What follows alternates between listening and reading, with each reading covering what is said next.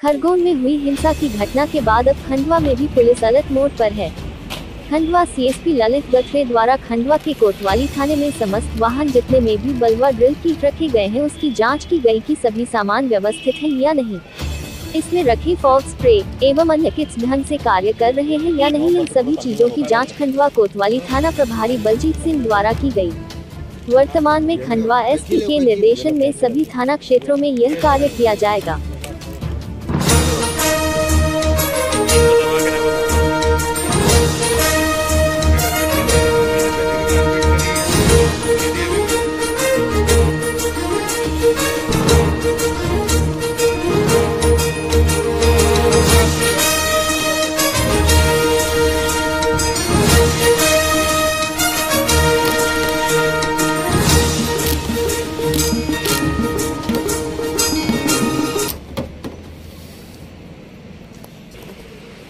Sir एक उसका एक उसका है ना सर?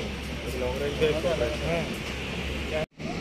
जी अभी शहर के जो थाना क्षेत्र है, विशेष रूप से कोतवाली, मोहट, यहाँ पर जो पुलिस के जो वाहन हैं, शासकीय वाहन हैं और जो थाने हैं, वहाँ पर एंटी राइट ड्रिल और जो थाने में जो उपकरण, जो बलवा के समय काम आते हैं, उन सभी को चेक किए गए हैं और जो कुछ कमी थी उसमें सुधार करने के लिए भी हमने निर्देशित किया है। आगामी शहरों में कुछ जो त्यौहार हैं और जो संवेदनशीलता है, उसको लेकर पुलिस पूरी तरह से तैयार है। इसको लेकर ये हमने ये प्रैक्टिस की थी।